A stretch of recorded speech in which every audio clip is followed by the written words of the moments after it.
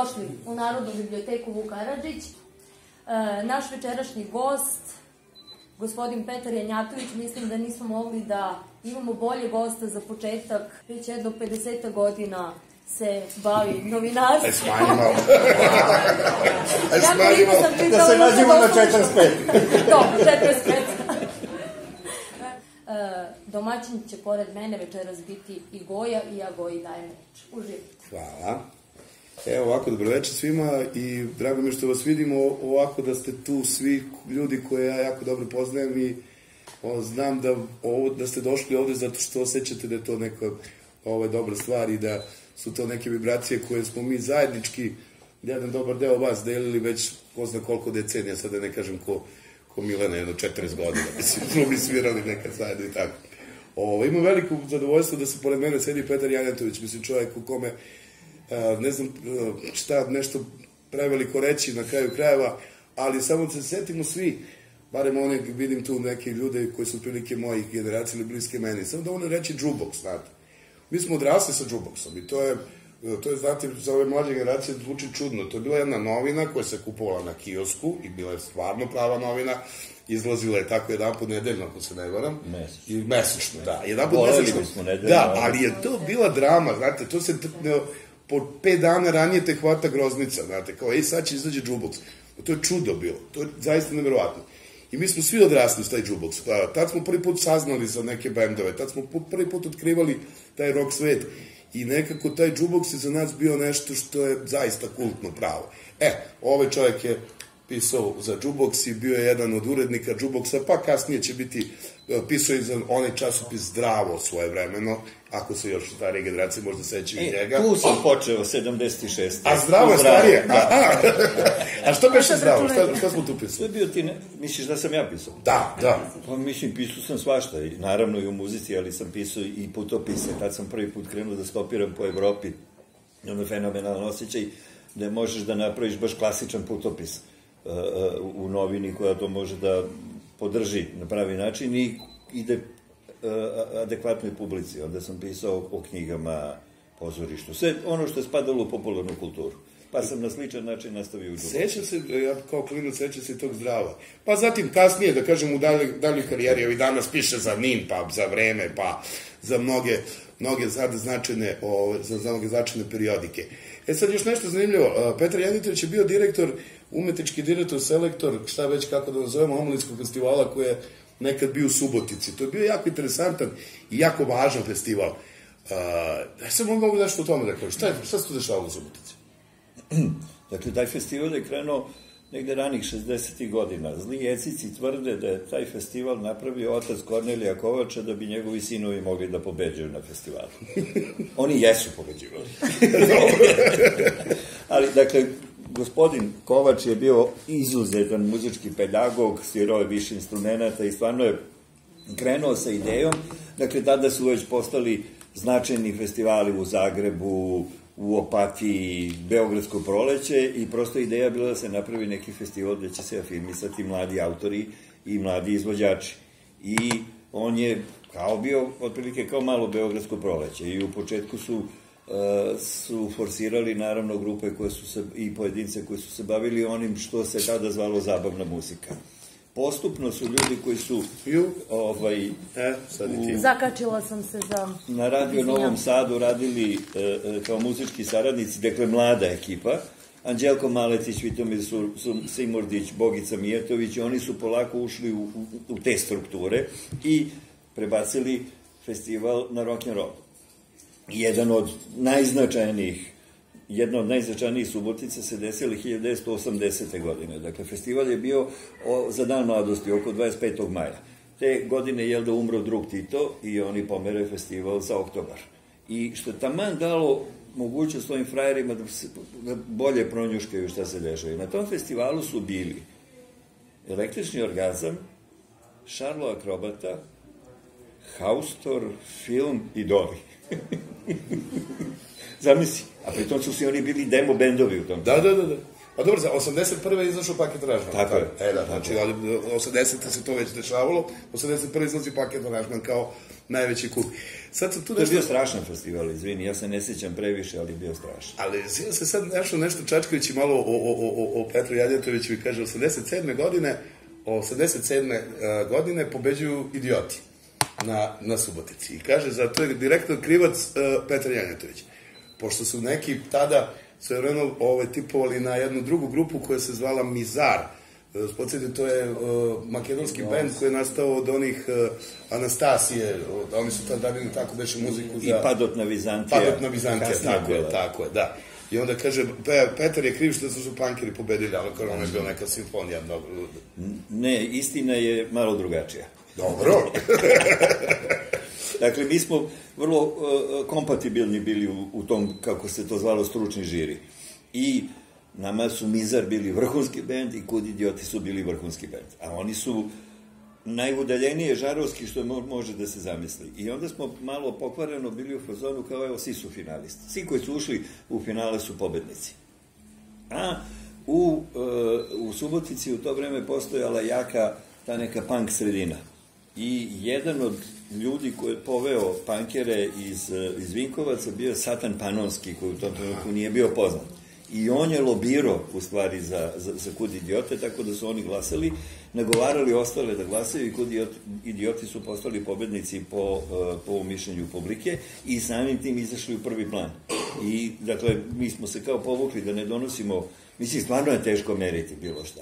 I tim kud idiotima je u krajnjoj liniji ta pobeda na Subotičkom festivalu bila fenomenalan vetar u leđa, jer je naglo krenulo i medijsko interesovanje za njih. Oni su pre toga samo imali jednu kasetu koju su sami objavili legendarni uživo, dakle koncertno, bukvalno snimljeno onako ovaj, na, na, na, najjednostavnijom tehnikom. I kao pobednici festivala su onda e, e, dobijali razne neke druge prostore gde su mogli da sviraju, tako da se desilo da su svirali u Subotici u radničkoj mezi, radnicima dok su jeli. to je bilo izvanredno. Ali oni to nisu znali, kad su došli tamo, ovi ljudi čapaju neke paprikaše, izlaze pankeri. I si punk čistio. Ali ono isto što je zanimljivo, sad njima sve napak, kao nema veze. Kud idioti su iz Pule? E, njihov bubnjar je bio, e, rad, dakle, radili su u Uljaniku. Bubnjar je, čini mi se, bio zadužen za struju, a Sale Veruda, gitarista, za drvene delove na brodovima.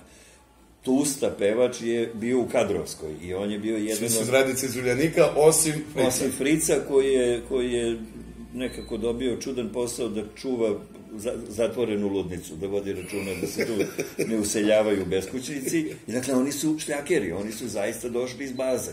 I oni su autentični okay. bankeri. Pričat ćemo o idiotima, ali nešto drugo na početku. Evo ovo što držim u ruci je nešto što Ajde, to, to često čujete tu reč na televiziji, kažemo kapitalno delo. Ovo je Svaka kuća treba da ima. Da, da, ovo, evo, Kuvar i to. kuća, kuvar, kuvar, ovaj, misli druga tita, ali da, to više ne treba. Ovaj, ali ovo je zaista stvarno bez ikakve, ovaj, pre, bez ikakvog preuveličavanja, ovo je stvarno kapitalno delo. Prosto neverovatno šta se ovde sve nalazi. Ovo je stvar koja zaista može da se čita godinama i godinama. Znači, sve što možete, što vam negde u glavi, pa negde si zaboravio nešto i odjednom ovde ima lepo azbučni red, A, B, C, D, pa onda, što je neverovatno, mislim nije neverovatno, ali istinito je, na kraju je indeks. Pa onda indeks sa pojmom, pa sad kaže Tras, Vukosavljević, Miloš, pojma nemam ko je, ali se pominjamo 316. strani. Hop, 316. strana tu je. Znači, sve što Uh, ne ono kao ono sve što ste steli da znate u, u roku, a niste smeli da pitate, nego ovde i više od onoga što treba da znate u roku. Mislim, zaista ovo je nešto stvarno čudesno. E sad, ovaj, ja sad kažem, Petar me zmonio da ga pita kako se piše ovakva knjiga. Ja stvarno ne znam kako se ovo piše. Mislim, ovo je stvarno, ne, ovo je posao koji treba da radi armija ljudi, mislim, ja, ja to tako vidim. Da je tu trebalo da bude jedno 30 ljudi koji će nešto da rade, pa će ti svi nešto da prikupljaju, onda neko na kraju to samo da, da spakuje. Uh, ja sam tu knjigu počeo da pišem negde, ako ne grešim, 93. četvrte godine, ali sam je pisao tako što sam u stvari samo skupljio ko hrčak sve živo od, od, od, od svih prijatelja, i pres materijale, i neke novine koje nisam imao, A, a, I pričao po kafanama kako ja pišem enciklopediju, a da ni jednu jedinu reč tog trenutka, do tog trenutka nisam stavio na papir. E, onda je u kuću ušao prvi kompjuter i onda sam ja shvatio da ja više nemam izgovor. Jer bez kompjutera ovako nešto ne, ne može da se uradi, zato što se neprekidno menjaju e, informacije, dobija se nešto novo i e, meni je ta knjiga, to sam već milion puta rekao, ali rad na toj knjizi meni je bio bekstvo od 90. godina. Ja sam nabio slušalice na glavu i sedeo i pisao dok je dok je bio dnevnik i dodatak na dnevnik i mobilizacija i sva ta čuda i meni je to prilično pomoglo da pobegnem od stvarnosti, a da nije sad kao nešto igram igrice, nego radim nešto prvo što volim, a drugo što mi deluje kao, kao važna stvar. E sad da se vratimo na, ovaj, na tim ljudi. Meni su zamerili neki moji drugari kad je izašla knjiga zašto sam ja tako sebično uzao i sam da je napišem. I ovaj, e, ja sam objasnio da bismo mi, kakvi smo magarci svi, prvo sedeli jednog dve godine po kafanama dogovarajući se, ja ću da pišem o idolima, a zašto tu da bude Harima Tahari, a zašto ovo, zašto ono, onda bismo se e, posveđali i do knjige... Baš sam otvorio Harija, evo ti Harima Tahari. I do knjige nikada ne bi došlo. A imao sam tu sreću da moja prijateljica Petra Nemica, koja je u to vreme radila u Beogradu, uh, je, dakle, prvo izdanje enciklopedije iz 98. godine nema indeksa. Ona je žena sela i napravila mi indeks na osnovu knjige, bez, ne znam kakav, kojim programom ili kojim strpljenjem. I tako je u stvari u prvom dopunjeno 2001. izašao izašlo sa, sa indeksom i iz 2007. Uh, u trećem izdanju takođe vrlo detaljan indeks i onda je Saša Lokner, klavijaturista u, kod Bajage instruktora, došao i rekao kako, ja ne, ne mogu ti opišem koliko sam ti zahvalan. Znaš, izašlo je to treće izdanje, ja sam došao kod Ćaleta i samo sam otvorio na indeks da je on. I rekao, vidi tata šta sam ja se radio. Pošto je ovaj verovatno već to bio gunđo, ono, kao, hoćeš nešto ozbiljno da radiš. A, a ovo je tek dopunjeno izdanje, znači ovo je izdanje iz 2016. godine i obuhvata period do 2015 što je prosto tek neverovatno. I sad, kad, prošireno je u odnosu na ono trećem za 160 i nešto stranica. Ja tako mislim, nemam pravo. Tako nešto se pročitao. Ne, uh, prošireno znatno, pa onda sada, pošto se onda naravno raspala ona bivša država, ovaj, onda ima poglavlje posebno koje govori Srbija od 1990. do 2015. i jedno zanimljivo poglavlje koje se zove Svet. I ja kad sam prvi put otvorio, kako ga svet, ja, kako kakav svet, kad ono taj svet je u stvari ovaj naš mali mikrosvet tih bivših eksiju republika i tu možete da pročitate isto neverovatne priče, zaista jer smo mi tako izbombardovani raznih uh, tim medijskim manipulacijama čuda, pa smo prosto pokidani s tom pričom. Šta se sad svira recimo u Makedoniji? Da li neko, zamislite sami, da li znate neki makedonski rock band trenutno? Mislim, vrlo redko, znam ja, na primjer, neke, ali nema ih mnogo, znate, ne, nemamo dostupno sve. I onda odjednom ovde vidiš da se to čita, naravno, svet ide dalje i ništa nije za ovih zatvoreno, pa se tako i ta naša rock scena u Srbiji razvijala nekim svojim putem od 90. do 2015. ali i Hrvatskoj, Bosni, Sloveniji i tako dalje. Ovo, li ličete scene sada jedne na drugu? E, to sam baš teo da razgovaram da, šta se dešava sad u Hrvatskoj, Srbiji, Makedoniji, Bosni, Sloveniji? Pa, e, bosanska scena je prilično ugrožena. Ta tačno se vidi kako, kako funkcioniše država i kako je organizovana država, to se sve naravno ogleda i, i na kulturu. E, e, Hrvatska je, puno toga ima u Hrvatskoj, jer s druge strane, e, oni imaju to svoje u Srbiji je to Sokoja, tamo je ZAMP, dakle zaštita autorskih prava. I autorska prava tamo se ljudima isplaćuju prilično realno, tako da ljudi koji imaju 5-6 pesama koje se vrte, imaju na godišnjem nivou nekakvu normalnu količinu para od koje mogu sebi da dozvole udoban život u smislu da se bave svojim poslom, da, da. to je muzika, a ne da preko dana radi u kafiću a da, i tako dalje, i tako dalje. E, generalno nema nekih prevelikih razlika u cenama, sve su žarovski jako bogate. Zaista ima svega i svačega. Moj prijatelj, dakle, jedna od stvari koja meni čini mi se, e, naj, koja je najznačajnija vezana za ovu moju knjigu, što je to isprovociralo druge ljude.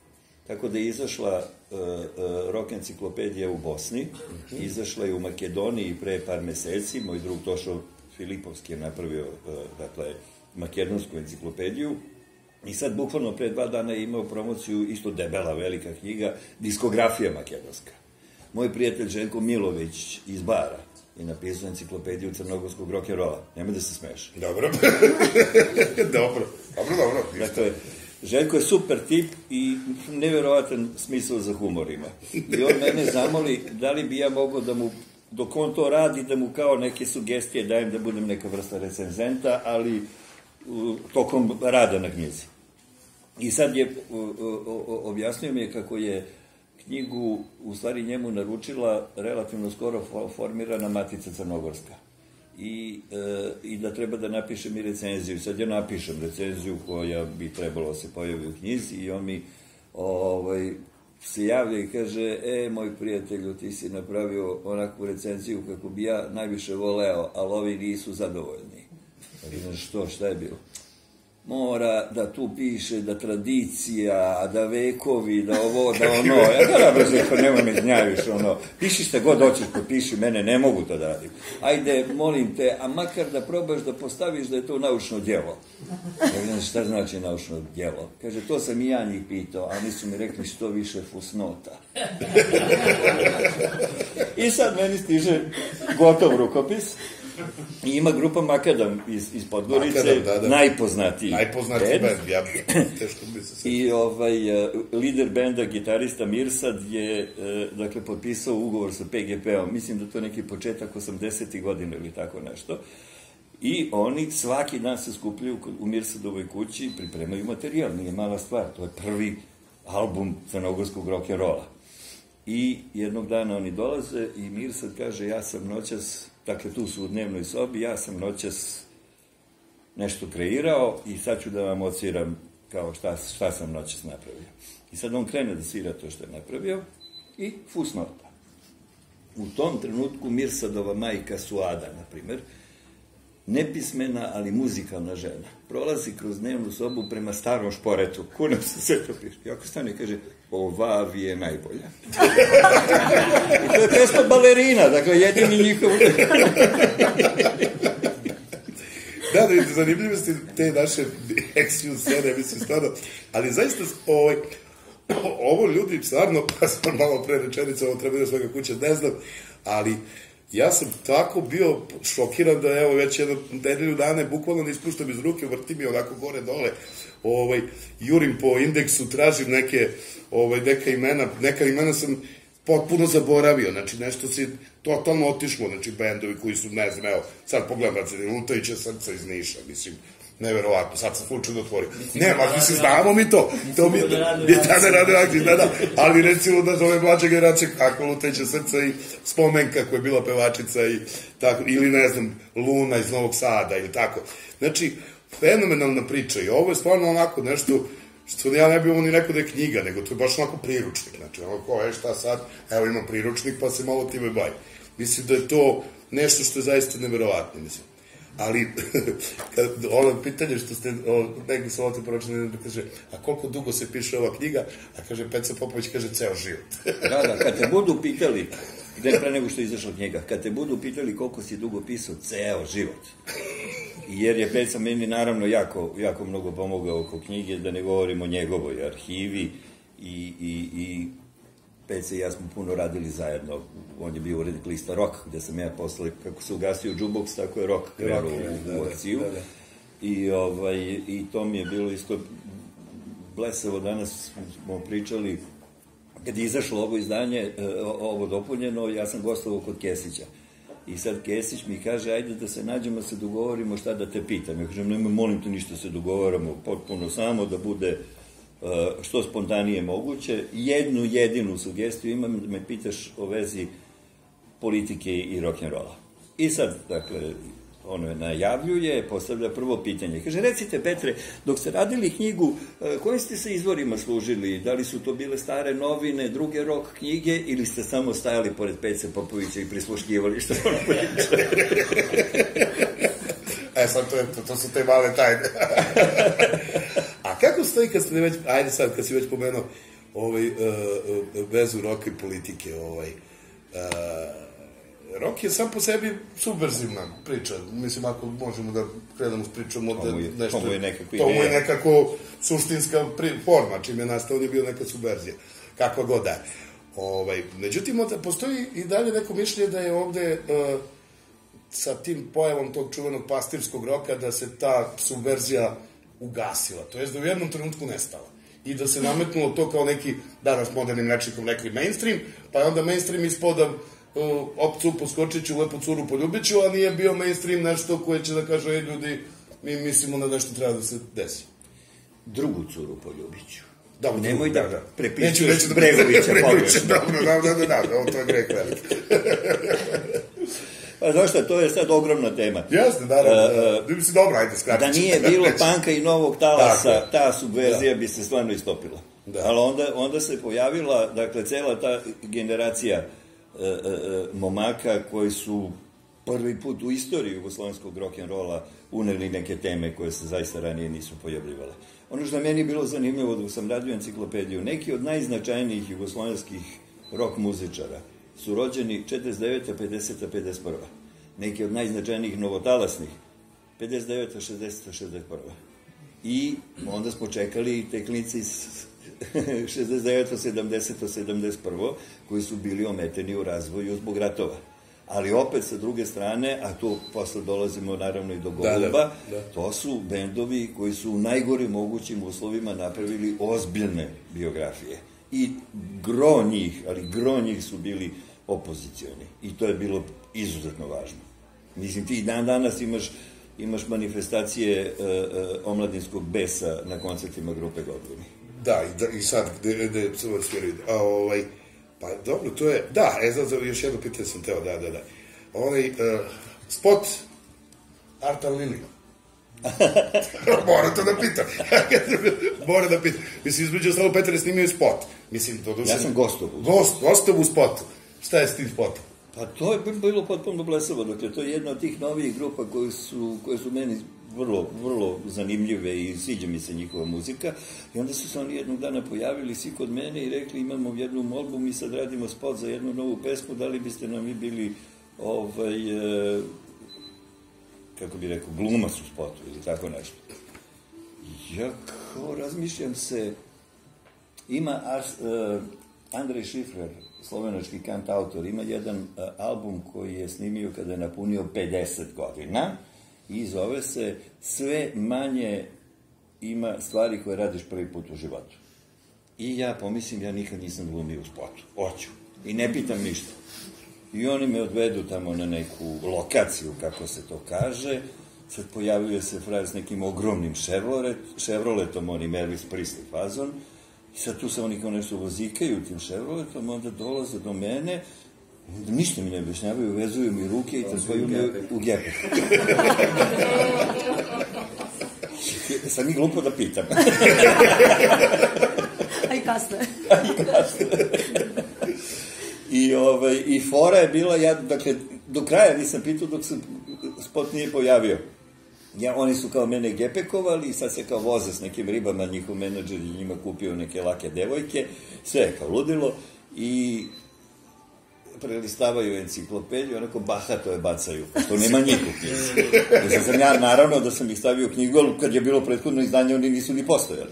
I onda sam napisao, evo, tu u enciklopediji, sebi sam dozvolio povremeno neke budalaštine da, ovaj, da upisujem stvari koje nemaju nikakve veze sa enciklopedistikom, ali otprilike ova grupa se našla u knjizi zato što su morali da me strpaju u gepek. Da bi... E, ne samo to, ali pošto su na A, oni su od prva odrednica. Kad krene novo, kad krene ovaj, ovo novo izdanje, da što čemu otvoriš A, Artan Lili. Ali ono malo, pre, ja sam naravno, samo ironija je bila kad sam nazvao ovaj deo XU deo nazvao sve, Sve, jer je da, to, da. To, to, to se desilo u momentu kad su nama trebale vize za sve, za sve, sem za Makedoniju. I, ovaj, I neko toliko smo se osjećali izdvojeni od tog sveta, ali tu ti imaš recimo grupu Kultur Šok iz Sijetla, Gino Banana, se sećaš grupe Gino Banana, maće moje Ćupovo. Ćupovo, da. Gino Banana je e, e, se bavio i pozorištem i on je u Sarajevu tokom rata postavio e, sarajevsku verziju Kose, dakle antiratne. I to su igrali po podrumima. I u sred bombardovanja u Sarajevo došla Joan Baez, čuvena protestna pevačica američka, bivša devojka Boba Dilana, ko, kome ona puno uticala na njega. I uglavnom ona odlepi na to što ovi rade. I ona uspe da sredi da Gino Banana ode u Seattle i tamo da, kra, da režira neke predstave. Dakle, izmislili su mu da režira predstave samo da bi ga izvukli iz, ispod ovaj, opsade. I on se tamo krenuo da se druži sa Krisom Novoselićem, bas gitaristom uh, Nirvana. Nirvana, da. I oni su na nekim žurkama tako blesavili se i onda je Gino krenuo da svira kao neke punk verzije Sevdalinki. Ovima se to dopadne i nagovore ga i on napravi bend. U bendu mu je bas svirao uh, uh, uh, Japanac, gitaru i dan danas svirao frajer iz Bugarske, E, duvački instrumente svira jedna Amerikanka, e, drugu gitaru je svirao frajer iz Bosne i Gino Banana. Ja sam naravno stavio ovdje. Da, da, da. Kultur šok. Seattle, molim lepo. Dobro. Kao što ima i band Trovači, to su neki moji drugari koji rade na Deutsche Welle, koji su isto pobegli od mobilizacije u, u, u Nemačku i napravili band koji je tako kao neki novotalasni.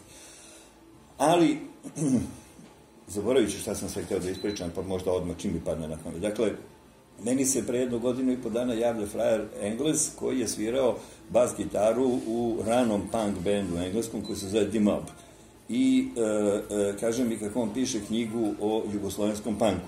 I dolazi u Beograd i da li bi mogo se vidi sa mnom da mu ja tu kao ponešto ispričam i tako dalje. Mi se nađemo ja kažem, zini, objasni mi. Ti ne znaš srpski, mislim, Uh, ja kao bajom ne sviram već jako dugo, ali mi je pre par godina palo na pamet pa sam napravio Facebook stranu ovaj, uh, tog našeg benda Dimop. A oni su bili baš iz provincije benda. I krenuo da mi se javljaju razni ljudi, jer su učestvovali na nekim kompilacijama koje su bile uh, uh, poznate. I javio se neki frajer iz Kragujevca, čini mi se da mi je to rekao, i kaže, wow, Dimop, vaša pesma je ogroman hit bila u Jugoslaviji. On kaže, moja pesma, hit u Jugoslaviji. Ja sam otprilike mislio da u Jugoslaviji ne postoji električna gitara. Kud idioti su obradili ovaj, jednu njihovu pesmu There is no place for us, to nije mjesto za Nije nas. mjesto za nas, da. Dakle, i malo ljudi zna da, da je to obrada. Aha, da je to obrada te, od tog od, benda. Od, od tog Dimo. Da, da, da. Nisam ni ja znao. Da, da, da. Preko Barija sam saznao. I uglavnom, ja ga pitam, dobro, i? Pa kaže, ja sam onda krenuo da kopam internet, kud idioti, pa pankrti, pa termiti, pa pekinška patka i potpuno se sludi. Je, znaš, on kako uđe u jednu prostoriju, tu ima novih vrata. I onda je na nekom okruglom stolu o panku u Londonu on pričao o tim svojim saznanjima, odmah posle toga mu je prišao frajer koji objavljuje knjige i naručuje mu knjigu da napiše. I ja kao, super, ono, fina stvar, šta mogu ti pomognem i onda on mene krenuo da zapitkuje milion stvari. I u jednom trenutku sam mu ja samo ispričao nešto kao anegdotu, uopšte ne razmišljajući da to može da mu bilo kakve veze sa knjigom ima. Naime, Nirvana je trebalo da svira u Ljubljani oktobar 1991. godine i par dana pred koncert njihovi menadžeri se prepadnu da je u Ljubljani rat, da padaju bombe. I izmeste koncert u selo Muđa iza Trsta. I sad ima na internetu snimak, samo je audio i idu crno-bele fotografije sa tog koncerta, mislim u publici su bili ljudi iz Hrvatske i Slovenije, naravno. I e, čuje se žamor publike i u trenutku kad bend izlazi na binu je vrisak cika i Kris Novoselić koji kaže Dobro veće, mi smo bijelo dugme. I kreće smejurija, potpuno ludilo. I sad ja ovome to ispričam, objasnim u ko su bijelo dugme i tako dalje. Šest meseci kasnije on mi piše i kaže Tragom one tvoje priče, ja sam kopo, kopo, kopo i stupio sam u kontakt sa gradonačelnicom Muđe ona je bila na tom koncertu. Imala 18 godina. Joj, A kaže, podatak koji će tebe verovatno jako da zanima, Uh, njen tata je u tom trenutku bio gradonačelnik Muđe. I oni su svirali u prostorijama komunističke partije Italije. Ovdje. A znači to je selo uopšte. Ta muđa je selo, to Pa, nije ništa. To ja sam shvatio da je To selo. je pored Trsta, mislim, ko zna u okolinu, mislim, ništa, selo, ko sad kad bi zamislili ovde Majlovac. I ili Maju- Nirvana svirala. Se pre Neverminda ili... 91. ali U to vreme. je Izašao Nevermind. Molim? 91. je izašao Nevermind. Pa da, a ovo je oktobar. A, dobro je. Nisu nekad bili poznati. Pa nisu. Da, A onda sad drugo što sam zaboravio, e sad ćemo malo da pređemo na drugu temu, ali da podsjetim još nešto. 2003. godine Petar Janjetović pravi Dallas Records. Dallas Records... U Srbiji. U Srbiji, da. Dallas Records u Srbiji, koji je ovlašen licencirani EMI, ili kako IMI, ako hoćete malo da spelujemo, ovaj, Ili, kako kažu, Ili- Francuzi. Sa, sa Jean-Jacques Barnelom sam bio prošle godine, on kaže enemy. Enemy, enemy, bravo. Ovaj, e, tu kaže, to je centar za razvoj i istraživanje muzike, tako ga negde nađoh, ovaj, ali je zanimljivo da se bavi, znači, osim prodajom svih uh, mogućih uh, nosača zvuka raz, raznoraznih i naravno izdavačkom delatnosti. Sad imamo ispred nas dve knjige, pa ćemo sad malo popričamo o njima. Prvo ćemo malo da nešto kažemo o, o ovoj knjizi, to je knjiga Branka Golubovića Izgužvane misli. Pa će sad moj drugar da vam pusti jednu, čisto samo najavu onoga što ćemo sada da, o čemu ćemo sada da pričamo, pa ćemo malo pričamo o ovoj knjizi, pa zatim o Fricovoj knjizi Moj život sa idiotima.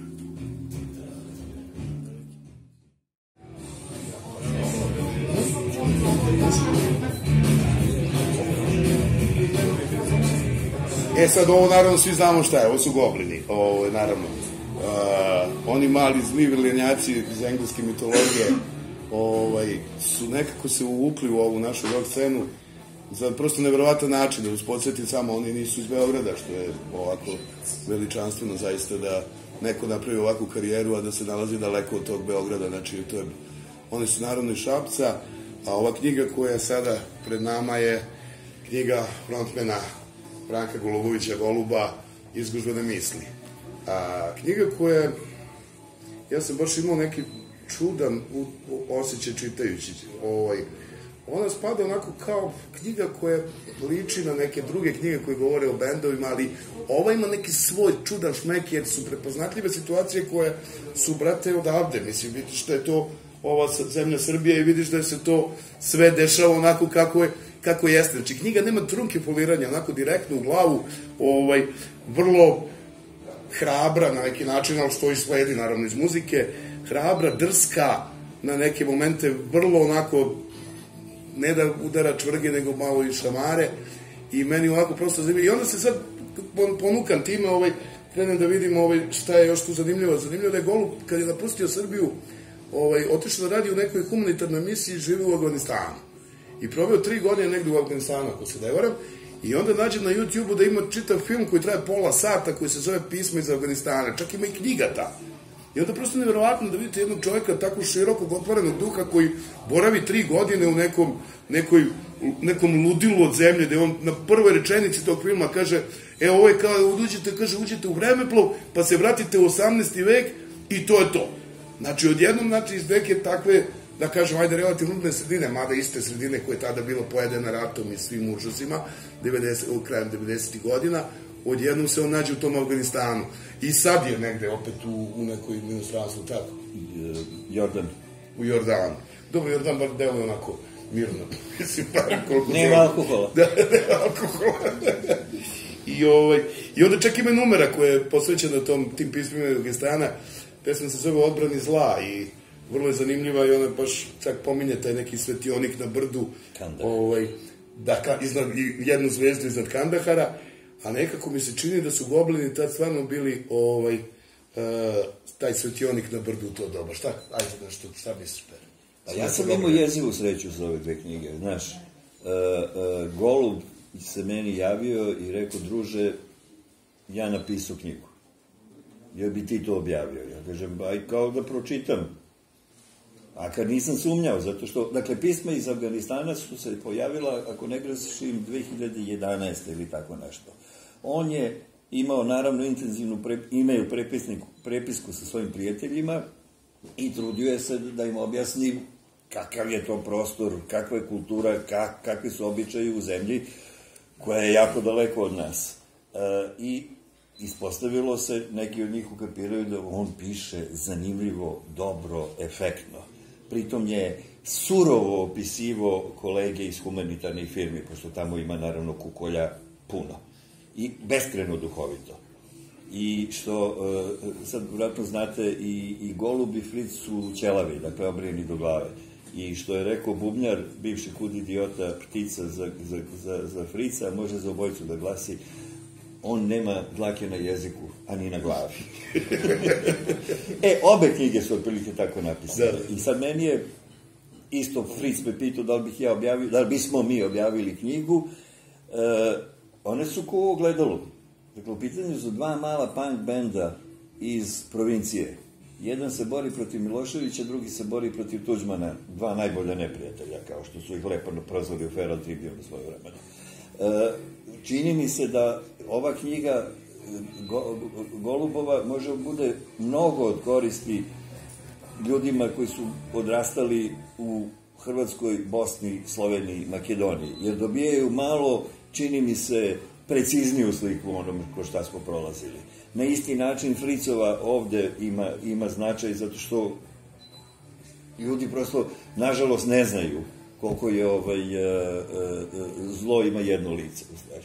Tako da mi je bilo zadovoljstvo da kao budem urednik tih knjiga, nije tu baš moralo mnogo da se uređuje, ja sam se zabavio dok sam čitao to u rukopisu, da ti ne pričam. Mislim. Ja, verujem da sam sjajno. Žao mi je bilo kad su izašle knjige. Gotov posao. Ne, ovaj, odlično su, mislim, da, sad da kažem, recimo, Mila Kekin piše predgovor, recimo, u ovoj knjizi, koji je, mislim, sjajan, ovaj, i da, ne, da, da sad ne bi sad, ajde, prepričavali knjigu, ali zaista meni prosto fascinacija bila ovaj, od tih nekih tih sirotinskih dana, da kaže početak goblina, kada se oni preturuju po džepovima, da li imaju pare za put ili za pivo. Pa sad, dilema je, hoćemo li da idemo, da putujemo ili ćemo da pijemo pivo. Ove, tako da, pa sve do nekih momenta kada postaju neki brend, o, i zaista jesu bili brend, stvarno, Goblini su napravili jesu. neverovatnu karijeru, mislim, to je Naravno, čudo, naravno. čudo. Znaš, ima jedna od tih silnih anegdota u knjizi, ovaj, odakle oni su demo band još uvek, bez kinte potpuno. I nisu ni imali mnogo prilike da sviraju van, van Šapca, jer niko za njih ne zna. I sad ne znam, zaboravio sam više na koju foru, oni, to je neka 93. godina, njih pozovu da u Spensu u Novom Sadu sviraju na ne, nekom događaju. Kako su stigli bez kinte u džepu, sede tamo smrzavaju se u onom Spensu, onim, onim hodnicima, to je sportska hala, i ovaj, e, ispostavi se da demokratska stranka ima neku konvenciju i da u okviru toga se, dakle, dešava događaj. I u jednom momentu ih, kao i druge zvanice, odvedu švedski sto. ima stampedo. Ali Boga mogu da pojedu. I tu su se nakrkali i kao navalili na piće i sad nailaze Đinđić sa svojom ekipom i od stola do stola upoznaje se s ljudima i kaže, momci mogu da sednem, sedi, vi ste men, da, pa kao, kako ide, viznanje, i sad oni krenu da mu kukaju kako je teško, kako je frka, kako ovo, kako ono, a i Šapca ste, aha, a do, ja sutra treba da budem nešto u Šapcu, a kako ćete vi do Šapca? I kaže, golub, ja, kaže, vidi ovako, imaš u 10 ujutru šinobus do Rume, onda čekaš dva i po sata, ovaj, ima taj neki voz, pazi, možeš autobusom, a to ti je skupo. Godinama su me zvali, e, to je onaj što je Điđić objašnjavao kako da dođe do Šapca. Tako da su, ovaj, i sad tu, te, tu se vidi koliko je to bogata, bogata biografija.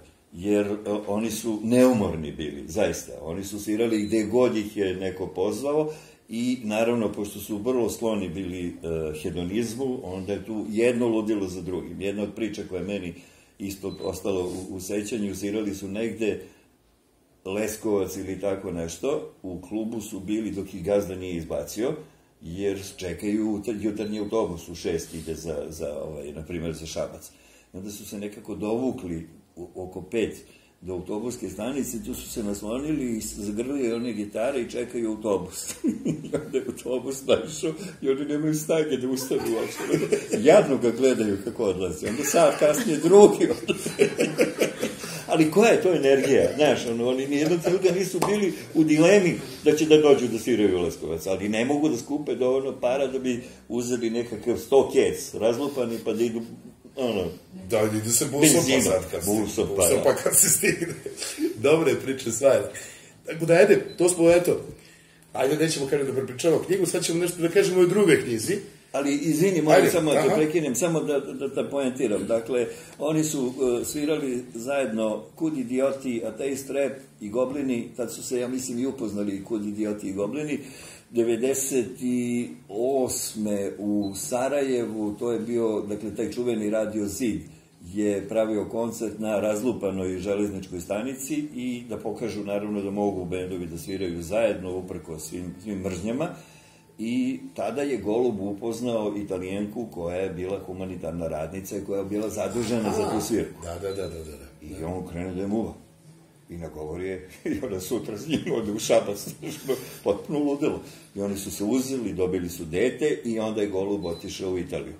I tu je ona njega u stvari stavila u mašinu, da mora da uradi nešto od sebe, da uči jezik, vozački i da radi, pošto je taj humanitarni sektor bio poznat, onda ga je nekako u tom pravcu upakovala. Oni su se kasnije razveli, ali on je nastavio to da radi. I, dakle, prešao je u taj Aman prošlog, prošlog jula, ja mislim, i u septembru su svirali svoj uh, uh, tradicionalni koncert u bašti kluba studenta tehnike. Izašli su na binu u pola dva ujutru. Ovaj je prethodnog, dakle, dana doleteo iz, iz Amana i uh, u pola dva ujutru on izlazi na binu u, u ono go do pola, onom smo kiltu i dva sata ludilo. Klinci ga polivaju pivom. Mislim, onako, opak koncert. Odma tog, tog jutra, dakle, verovatno se samo istuširao i na aerodromu nazad na posao. I u ponedeljak ujutru on mi šalje fotografiju. E, druže, vidi. A on, ono je, ne znam, one zelenkaste boje, one, one, one, uniforme što nose hirurzi. Uh -huh, uh -huh. I stoji, slika se u, u ogledalu, ima na, na nogama isto kesete i kaže, upravo sam izašao iz operacione sale. On je radi u humanitarnoj organizaciji koja organizuje e, operacija deci na srcu.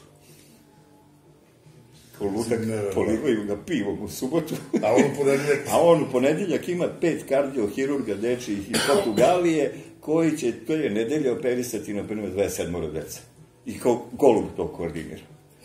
Tako da, opaka biografija, opaka. I ja kad sam, kad sam iščitao tu njegovu knjigu, ja mu kao neke sugestije sam davao i kažem mu, čovječe, kad bi postojala ozbiljna kinematografija da se napravi budžet, da se snimi najzad rock and roll film u Srbiji, su u te tvoje knjige. On kaže, druže, znaš da sam ja razmišljao o tome dok sam pisao.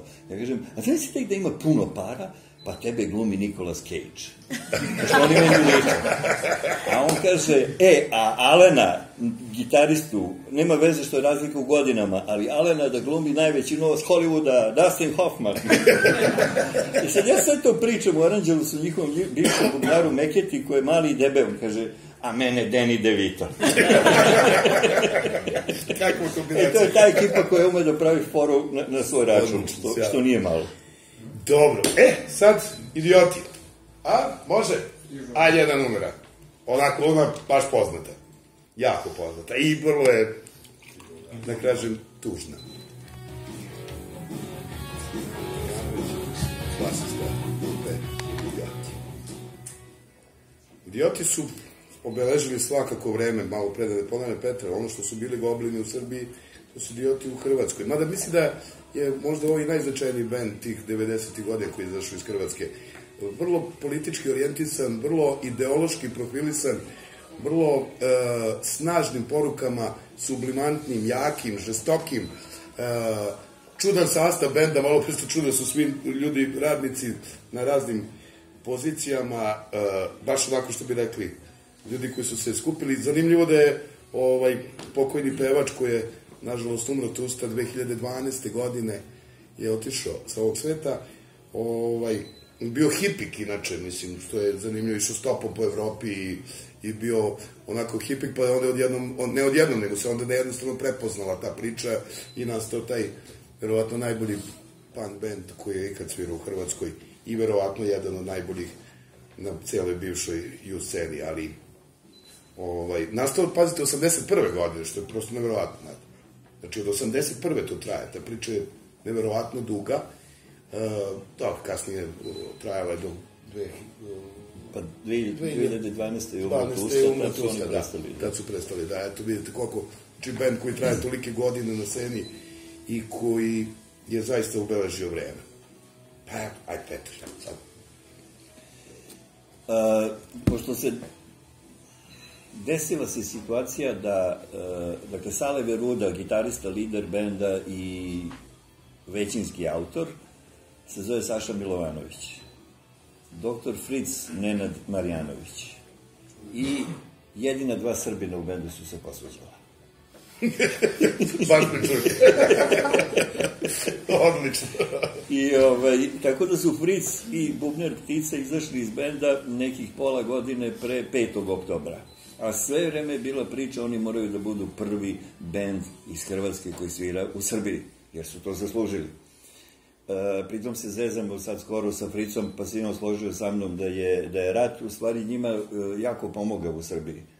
Pa dobili su taj kult status, znaš, Aha, ono, aha, junaci, aha. fenomenalni i, i, i, i značajni, a Fric je redovno pisao kolumne u listu Vreme zabave koje je Pera Luković uređivao. Mhm. Tako da je veliki broj ljudi u Srbiji čitao te njegove budalaštine. On je jako duhovit i mislim, kao što smo jel da saznali, bez lake na jeziku. I, e, dakle, jedina moja rezerva je bila kad me Fritz pitao da, da, da mi to objavimo, samo da nije, da se on ne razračunava sa Saletom. Aha, aha, da, da. I on, ja mu ništa nisam rekao, on to provali. I kaže, e, ne brini. Ja krenem da čitam, Da. je sa toliko poštovanja Jeste. uh, i uh, uh, davanja kredita onome ko je najzaslužniji za to. I sad on recimo počinje knjigu jednom fenomenalnom slikom. Dakle, Sale kao lider nije dozvoljavao da se sluša muzika u kolima, neobjašnjivo potpuno. Kaže, nikad se nije slušala muzika u kolima. I mi krenemo, imaju te turneje po Nemačkoj i Švajcarskoj po klubovima, voze drndave automobile koji se jedva vuku po tim autoputevima, jezivo im je dosadno. I onda su izmislili igricu, ptica je obično vozio, da on kako prelazi iz jedne trake na autoputu u drugu, oni kao da menjaju plo, iglu, na Iglu ploči. po brazdama, Pa da. pevaju malo ono prsten iz zlatan lanac, i ono, bandjena rosara.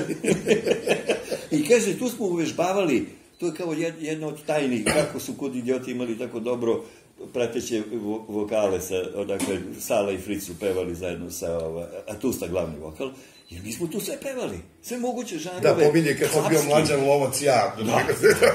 Pravo kad sam bio mlađan lovac, rekao sjajno. I to je, to je zaista bila fenomenalna ekipa i hvala Bogu dakle, da je on tu knjigu uradio u stvari u spomen i grupi i godinama kroz koje su prolazili tusti u krajnjoj liniji. Sad, prošlog petka na filmskom festivalu u Motovunu je bila premijera eh, dokumentarnog filma o Tusti. Jako mi je krivo što nisam mogao da odem. Kažu da je odličan film i e, zanimljivo je bilo što je, e, na primjer, u šest popodne bila promocija Fricove knjige u Motovunu. E, Ove za- knjige. Ove knjige. Zatim je bila premijera filma, a posle toga Sale Veruda svirao sa svojim novim bendom. A dobro, da na neki način su bili svi tu. I da, zaboravio sam malo pre da pomenem još nešto za ove, koji, malo pre da gobline, samo da pomenem, odličan dokumentarni film koji je radio na radio televizija Vojvodine, koji traje, boga mi, sat i 20 minuta, dokumentarac se zove Ima nas gomilo. I film je o goblinima, što je vrlo interesantno da je neko tako ozbiljno uradio jedan Pazite, to traje sat i 20 minuta i to je produkcija RTV Vojvodine i to je Jeste. 2010. godine. Odlično izgleda, zaista. Jeste, to je uradio Peđa Novković, novosadski novinar, a Peđinom sestrom je oženjen basista Goblin. A to je veza. Nije veza, naravno. Nisam znao šta je, šta je kopča. Slučajnost. Ovaj, interesantno su idioti bili onako, e, kako bih rekao, pravi levičari u, u, u doba ultradesnice u Hrvatskoj. E, ja sam levičar. I kad je ova gospođa napravila jul, ja sam ukapirao da ja ne mogu se deklarišem kao jel, levičar, jer ispadam julovac. Aha, pa dobro. I onda su, Malo ovaj, i onda su mi kud idioti pomogli, oni su antifašisti. I to je najpreciznija stvar koju oni mogu da kažu. Oni su antifašisti. Znaš, kad su tad, kad su pobedili na Subotičkom festivalu i po nekoj, nemam pojma kakvoj već kulturnoj varijanti, oni su bili pozvani da sviraju na nekom uh, uh, festivalu u, u Italiju, u Reggio di Calabria ili tako neko mesto. I ovi izađu na binu, krenu da, ono, sviraju svoje i krenu da sviraju bandjeru Rosu. I potuče se publika. Desničari i levičari su u klinč. Kaže, mi sviramo, ne kapiramo šta se dešava. U tom trenutku se neki tip popne na binu i krene da, da, da, da gura tustu, da prestanu to da sviraju. Tusta pomisli da je u pitanju neka budala iz publike i rokne ga u, u, u publiku. Karabinjer. Uglavnom, izbio fenomenalan skandal. Kulturni ataše Jugoslovenske ambasade je dolazio da spasova stvar, ovi su se organizatori izvinili, politika je pisala o tome. Znaš, kao kud idioti, demo band u tom trenutku, otprilike. Tako da ovaj, ta njihova e, e, beskompromisnost, zaista, i mislim, drčni su. Oni su, oni su dali jedan veoma oštar intervju Feral Tribune-u i, ovaj, i onda je Fricov tata koji je bosanac, e, ratno siroče, poslati sirotišta u Pulu, tamo je završio za šofera i onda je rekao Fricu, koji je najviše, naravno, u tom intervju brbio, kaže, bi mogu neko ptica italijan da priča malo, ne moraš ti srbin baš da...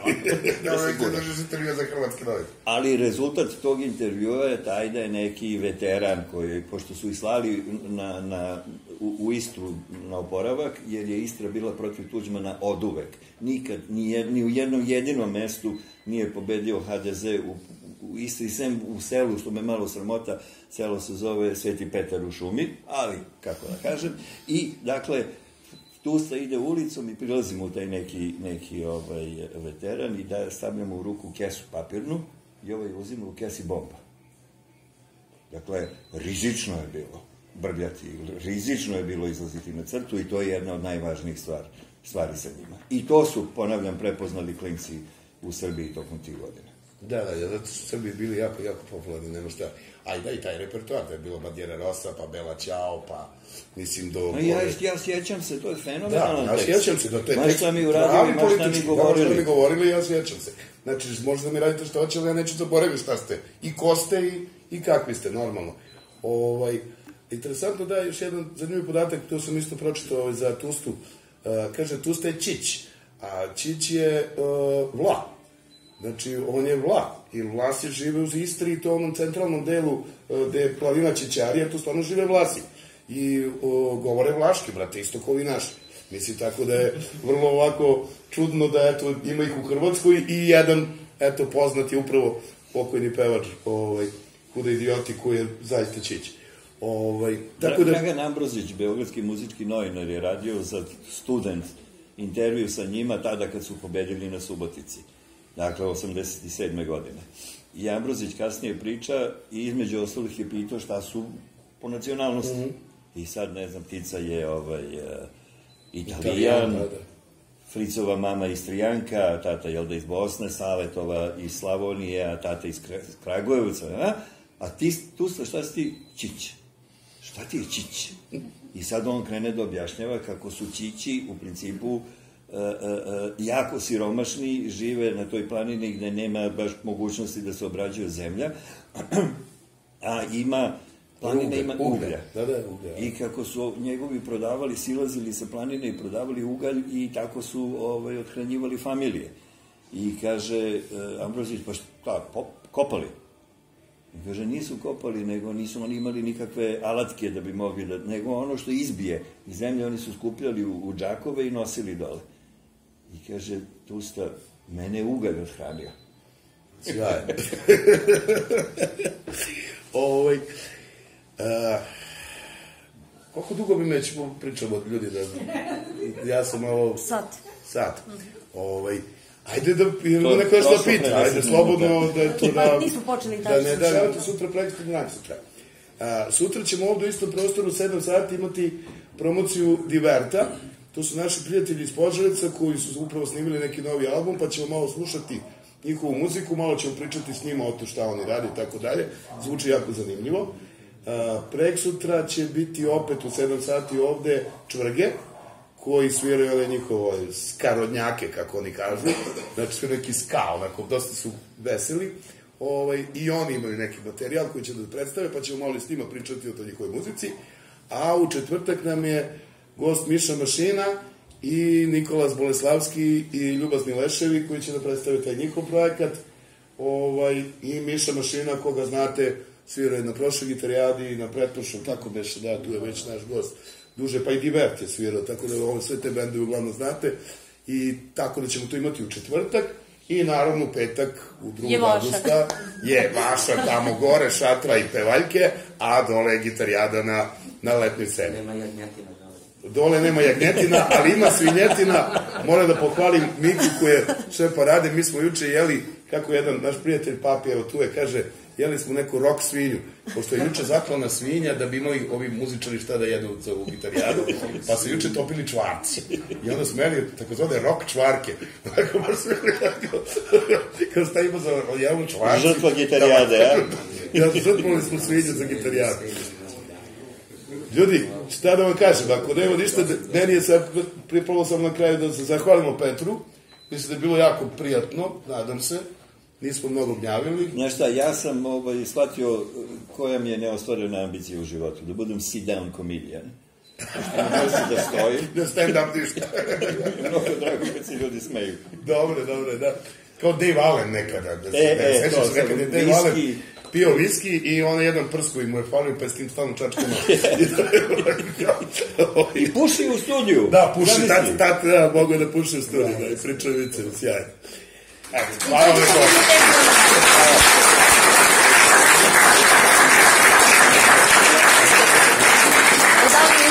ovakav aplauz za Buzbeta. Da lepo kaže Milana, odavno nismo čuli ovakav aplauz na Kovač. kraju.